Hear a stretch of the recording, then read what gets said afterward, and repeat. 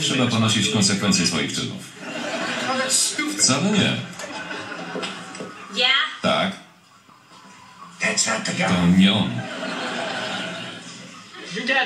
Twój tata kupił dziś samochód? Tego sztrucla kombi? Tak, dla mnie. Sztrucla? To wóz rodzinny.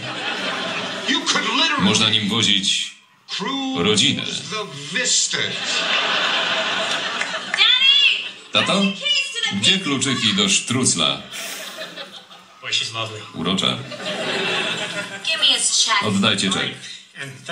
Dziękuję. Moi rodzice też bywają. Wow. Rura normalnie nie z tej planety.